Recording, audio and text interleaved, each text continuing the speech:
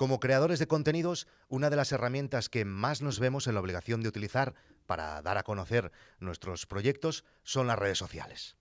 En el momento de compartir nuestro trabajo en Internet, algunas de las redes sociales nos lo ponen muy fácil y otras nos complican un poquito más la vida.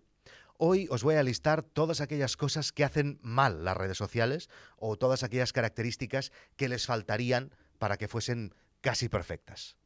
Efectivamente, Hoy es un episodio de quejas, pero creo que puede tener cierta utilidad eh, conocer con qué deficiencias os vais a encontrar si tenéis intención de comenzar una estrategia de contenidos en Twitter, en TikTok, en Instagram, en LinkedIn o en YouTube que son las redes de las que hoy os hablaré en este episodio de No es Asunto Vuestro. Pero antes, este episodio está patrocinado por Rubén Munar Guask y hoy os voy a pedir que sigáis su cuenta de Instagram. Rubén es un estudiante de la conducta humana y director del proyecto Sangaido. Es una persona ciega, pero totalmente autónoma y con amplios conocimientos del cerebro y de la mente humana. Descubre cómo puede mejorar tu vida no tener tan presente la vista y usar todo nuestro otro potencial. En su cuenta de Instagram encontrarás conceptos de la psicología más moderna en el trato de la gestión emocional, gestión de tus pensamientos y el entendimiento de nuestro cerebro para que tengas mayor amplitud de conocimiento para afrontar tu día a día. También podrás contactar con Rubén para cualquier consulta sin coste alguno y encontrarás sesiones gratuitas individuales para los que quieran empezar a desarrollar su crecimiento personal. Os dejo el link en las notas del programa o también podéis buscar Rubén Munar Wask en Instagram. Comenzamos con mi red social preferida, Twitter. Aunque es la herramienta que más me gusta y la que más utilizo, eh, en el momento en que quieres compartir tus contenidos en ella, te puedes encontrar diversas deficiencias. Por ejemplo, textos largos.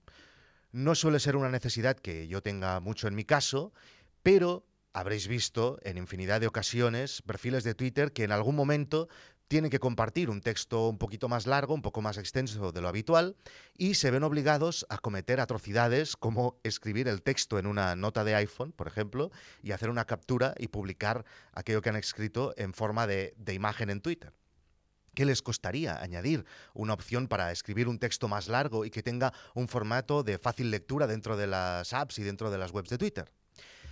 Edición de tweets. Esta seguramente es la característica más demandada históricamente por los usuarios de Twitter. Entiendo que esta compañía de San Francisco, de Twitter, tenga alguna reticencia para añadir esta opción porque alguien podría cagarla con alguna publicación y luego rectificar y decir, eh, yo, yo, yo no he sido, ¿no?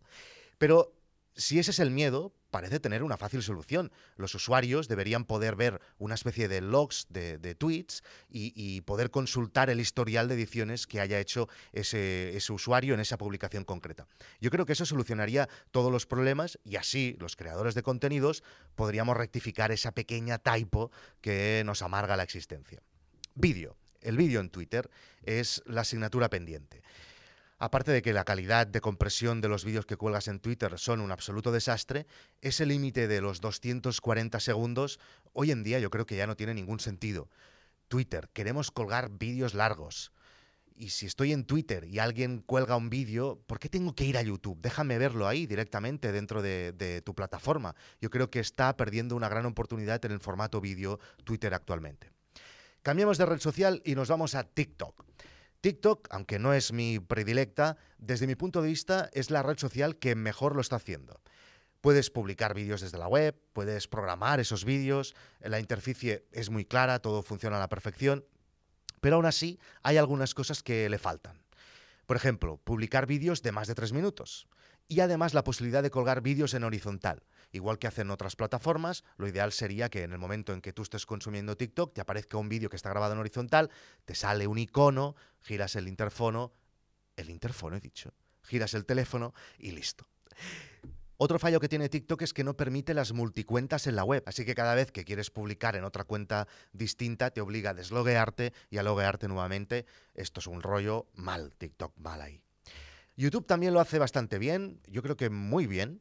eh, puedes subir el contenido que quieras, en el formato que quieras, puedes programar las publicaciones y todo lo puedes eh, gestionar además desde la web o desde las apps. Creo que de hecho es el único caso en el que no tengo ninguna queja. Si vosotros tenéis alguna queja de YouTube, me lo decís en los comentarios. Instagram, por contra, es todo lo contrario.